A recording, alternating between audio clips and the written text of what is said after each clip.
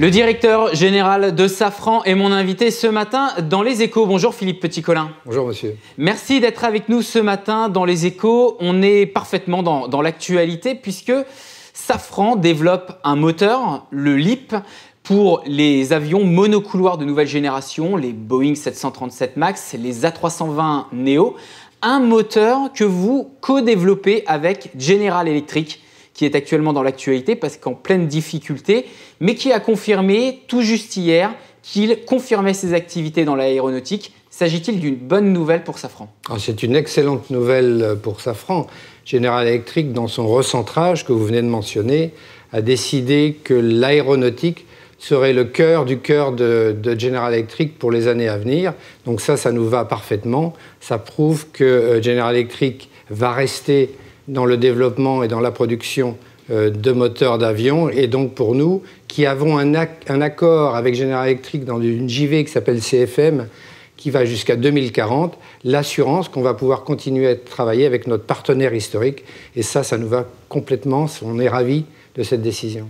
Autre sujet dans l'actualité de Safran, Philippe Petit-Colin, c'est euh, le rachat, la prise de contrôle donc, de Zodiac Aerospace L'objectif, former le numéro 2 mondial des équipements aéronautiques avec plus de 21 milliards d'euros de chiffre d'affaires. On sait qu'il y a eu des retards, notamment dans les sièges d'avion, également dans les équipements de cabine. Aujourd'hui, ces retards sont-ils en train d'être comblés? Ils sont en train de se résorber, vous avez raison de le mentionner. Par contre, ils ne sont pas tous derrière nous. Malheureusement pour nos clients, nous avons encore euh, quelques situations un petit peu délicates, mhm. mais l'une après l'autre, euh, nous faisons en sorte que les clients reçoivent leurs produits avec le bon niveau de qualité et si possible à l'heure, bien entendu. Si l'on revient sur, sur cette fusion, sur ce rachat très important dans le secteur aéronautique, euh, l'ensemble forme un groupe de 92 000 euh, salariés, dont 44 000 en France. L'objectif, c'était de dégager notamment 200 millions d'euros de synergie. Euh, dans quel domaine précisément comptez-vous effectuer ces synergies? Les domaines dans lesquels nous allons effectuer ces synergies se situent au nombre de cinq. Tout d'abord, les achats généraux, qui est la plus grande partie.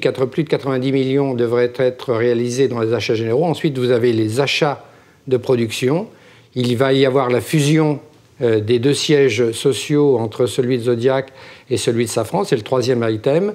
Euh, le quatrième tourne autour de l'optimisation dans le domaine de la recherche et de la technologie. Il y avait des domaines concurrents entre Zodiac et Safran, et eh bien, en, mariant les deux sociétés, nous n'aurons plus qu'un seul domaine, et donc on va gagner également. Et le cinquième tient à la consolidation en termes de sites de production. Nous pensons pouvoir euh, faire le gain d'environ une vingtaine de sites. Allez, sujet euh, d'actu, euh, question d'actualité en, cette fin d'interview. En avril, Dassault et Airbus ont signé un accord sur le futur avion de combat franco-allemand. L'objectif, prendre le relais des actuels Rafale et Eurofighter à horizon 2035-2040. S'agit-il d'une impulsion importante pour l'Europe de la défense? Ah, Tout à fait. Tout à fait. Nous avons maintenant un futur, nous avons maintenant un objectif qui est parfaitement défini par euh, euh, les ministres de la Défense allemands et français. Donc nous allons, au sein de Safran, tant dans les domaines des moteurs que dans le domaine des équipements, essayer de prendre notre place, toute notre place, avec des partenaires allemands pour pouvoir répondre à ce défi. Sachez que Safran est sûrement la société qui, dans le domaine de l'aéronautique et de la défense, dépense le plus mhm. en termes d'innovation. Nous avons dépensé quasiment 400 millions d'euros sur fonds propres l'année dernière et nous avons également comme objectif de pouvoir arriver à 500 millions à l'horizon de 2020. Donc ce nouvel avion, ce nouveau programme rentre parfaitement dans nos objectifs. Safran équipait déjà les Rafales avec euh, ces moteurs. Vous êtes confiant aujourd'hui pour équiper les, futurs avions de combat franco-allemands Oui, oui, oui, Vous êtes confiant. mais pas seul. Euh, nous devrons faire, réaliser des partenariats avec, euh, avec des collègues allemands afin de pouvoir répondre à cette problématique d'avions franco-allemands.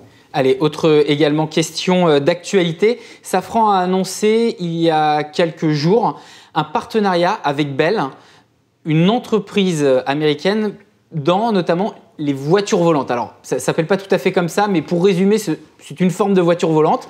Euh, à quand les premiers vols et comment ça fonctionnera exactement, Philippe Petit-Colin? Eh bien, nous allons euh, apporter à, Bell une ensemble, tout un ensemble d'équipements euh, en termes de génération électrique, de production d'électricité et de moteurs électriques afin de pouvoir mettre ces machines, ces nouvelles types de machines qu'on appelle des VTOL, en l'air et qui auront des applications de tout ordre, y compris, on a parlé d'Uber et de ce genre d'applications. nous sommes les premiers, ou parmi les premiers en tout cas, à pouvoir répondre à ces demandes des, des nouveaux euh, moyens euh, de locomotion euh, qui vont être utilisés en trois dimensions. Et nous sommes ravis de pouvoir, pouvoir répondre à, ces besoins. Encore une fois, je reviens à l'innovation. Mhm. C'est l'innovation qui nous a permis de développer des produits tant au niveau de la génération électrique, turbine à gaz et également moteur électrique, qui sont meilleur état de l'art mondial et donc qui permettent de répondre parfaitement aux besoins nouveaux, naissants, euh, de l'industrie aéronautique. Mais je vous pose quand même la question, une voiture volante, un taxi volant, c'est une histoire d'horizon de combien d'années? C'est 5 ans, 10 ans, 20 ans? C'est entre 5 et 10 ans. Entre 5 et 10 ans. Je pense que les premiers prototypes voleront en 2022.